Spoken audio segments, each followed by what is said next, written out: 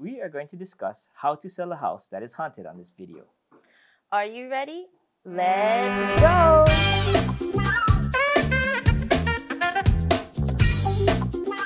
Hi, thanks for tuning in. My name is Dean Ueda.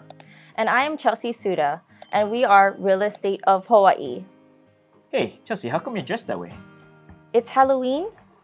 Oh, yeah. In that case, how's this? Way better. it's October, Halloween season, and guess what?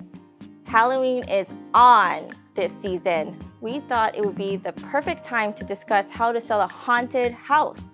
Also, check out our recent video on scary real estate stories.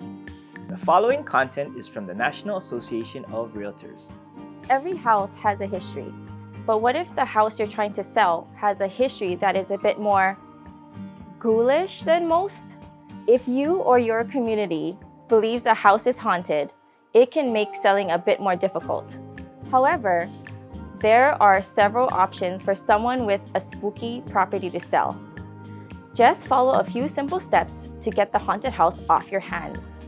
The first thing you will want to do is to establish if you are required to inform potential buyers of their future paranormal roommates.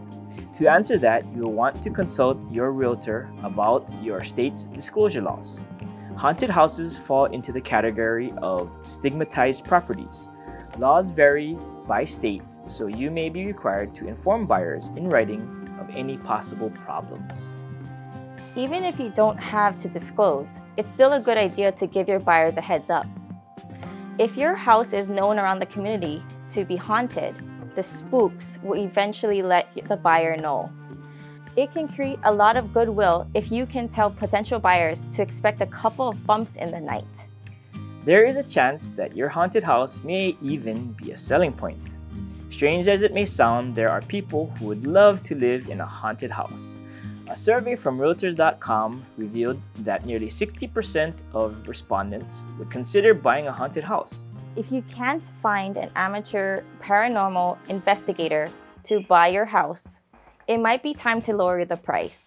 That same Realtor.com survey showed that 40% of buyers would require a price reduction in order to choose a haunted home over a non haunted home. If you tried everything and nothing has worked, bringing the selling price down might be your only option. If ghosts and ghouls have generated interest in your property, then a bargain price should do the trick.